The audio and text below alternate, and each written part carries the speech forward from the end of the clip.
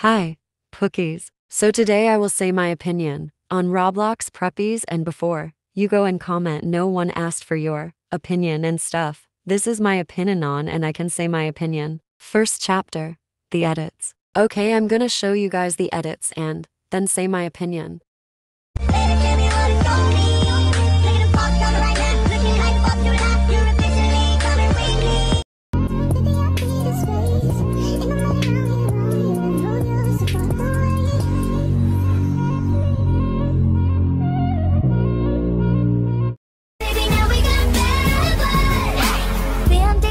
Fix bullet holes. You say sorry just for show. I mean, these are pretty cool edits, right? But all of them look similar, and they are all QR codes. And yeah, I know there's some other preppies that actually put effort into their edits and stuff, but I'm not talking about them. I mean, they are not that bad, but they use too much bright colors and it actually hurts my eyes, and all of the preppy avatars look similar.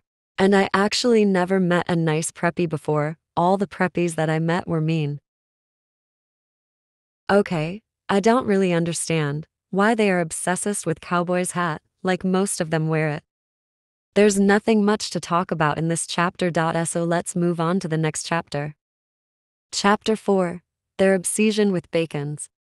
I don't hate bacons, but they are overreacting on bacons and they make a video they made themselves and act like someone else made it and stuff. Not all of them, but most of them.